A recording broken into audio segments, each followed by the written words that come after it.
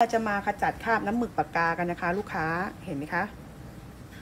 แข็งแข็งแบบนี้เลยนะคะ ลูกค้าส่งมาขจัด เราจะใช้สเปรย์อเนกประสงค์นะคะ ร่วมกับน้ำยาล้างเล็บ น้ำยาล้างเล็บเราใส่กระบอกนะคะ ลูกค้าเพื่อ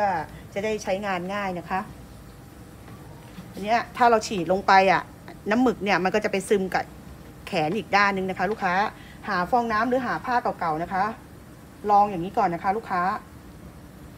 ลองลงไปใต้อย่างนี้นะคะ เพื่อที่มันจะไม่ซึมหากัน เราก็จะฉีดอย่างนี้นะคะ สเปรย์อเนกประสงค์ลูกค้าฉีดไว้นี้เลยนะคะ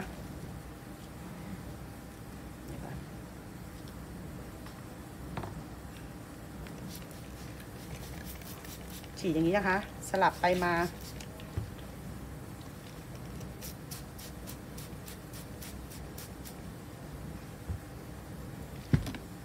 เห็นไหมคะ มันจะซึมเนี่ย ไม่งั้นเดี๋ยวมันจะไปซึมอีกด้านหนึ่งของผ้า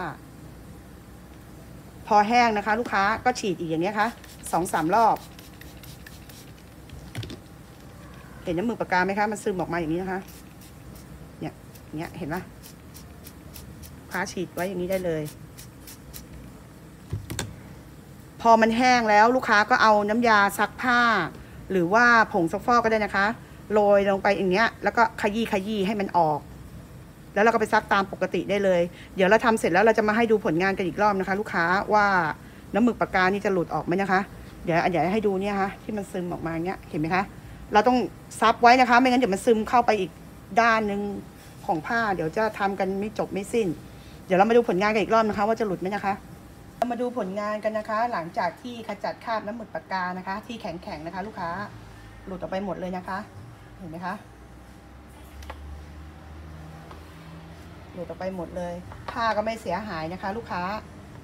ใช้สเปรย์เนกประสงค์ร่วมกับน้ำยาล้างเล็บนะคะ ฉีดทิ้งไว้แล้วก็ไปซัก